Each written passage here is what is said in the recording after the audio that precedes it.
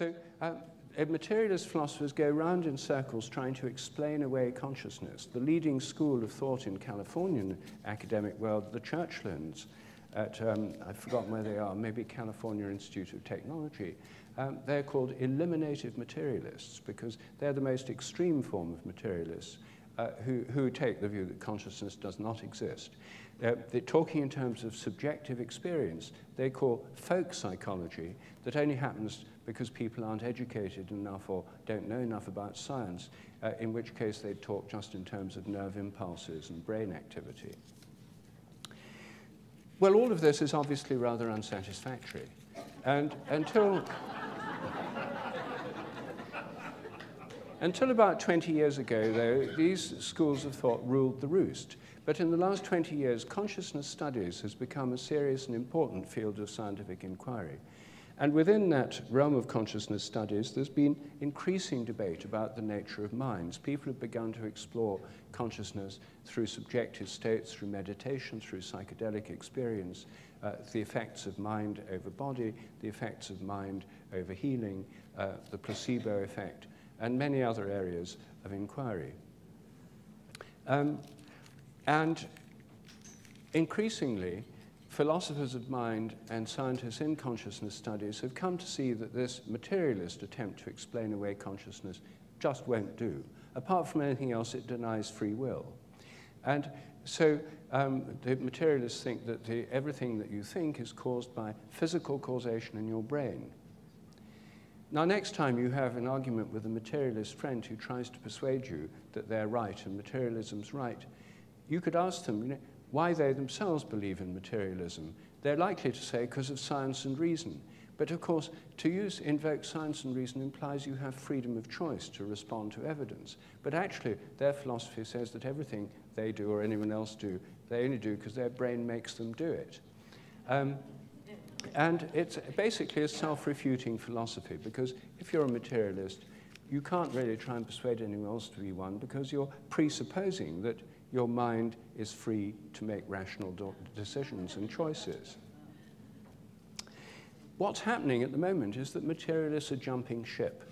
They're, they're leaving, they're, they're defecting from this worldview. One of the leaders in this movement was uh, Galen Strawson, the British philosopher of mind, who wrote a key paper about five or six years ago called Does Materialism Imply Panpsychism? And he answered yes. Now, panpsychism is the belief or doctrine or philosophy that psyche, mind, is present everywhere throughout nature. Pan means everywhere, psychism means mind or psyche. That um, nature, it, there's a kind of element of mind or, or psyche, even in electrons and atoms, that um, the argument here is that you can't have consciousness emerge in human brains unless the matter that it emerges from already has some kind of primitive form of consciousness or lower level consciousness.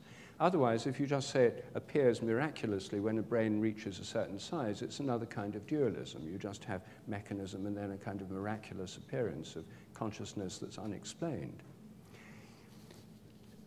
A more recent convert to panpsychism was Thomas Nagel, Britain's, uh, uh, the US, uh, the America's leading philosopher of mind at um, Columbia in New York. And Nagel wrote a book a couple of years ago called Mind and Cosmos, Why the Materialist Neo-Darwinian Conception of Nature is Almost Certainly False.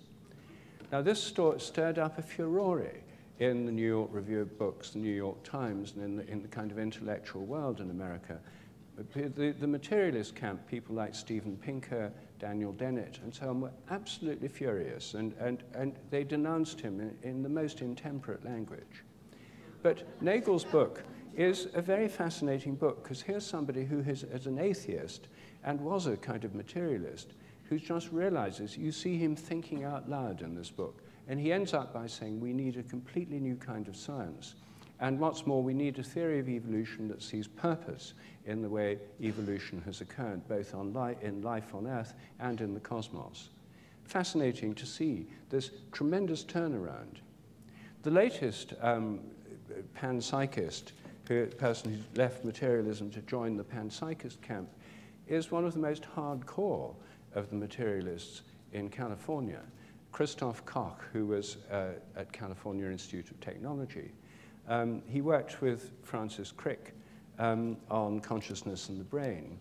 And he came out about six months ago in an article in Scientific American arguing for panpsychism as the way forward. Now, this is a fascinating thing, you see, that there's, there's the, the, the materialists, the most hardcore materialists, are going over to an idea there's some kind of mind in nature, which is not very different from animism, which is what the scientific revolution start, started off by rejecting, the idea of a living world, a living nature.